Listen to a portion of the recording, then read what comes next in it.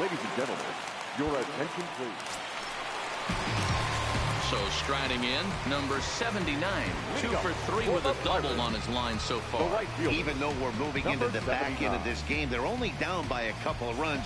You know that old slogan, a bloop and a blast. They could certainly use that right now. And he'll power in a fastball that time at 94 for strike one. You know, guys, sometimes guys don't like pulling the trigger 0-0.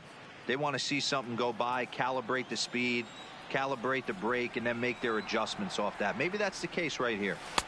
This one's outside, quite a bit off the plate that time.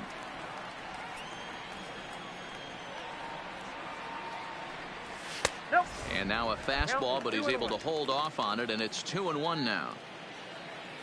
Now the 2-1. Oh, and he took a big swing at that one as this is driven out to deep left center field. And that'll get down out there near the wall.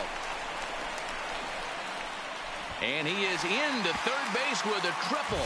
His third hit this afternoon. And case in point why he's one of the best bats in the business as he's aboard for the third time today. He has had so many multi-hit games this year. Why are we surprised he mixed in another three-hit performance? I expect this guy to finish strong and fight for the batting title up until his last at bat.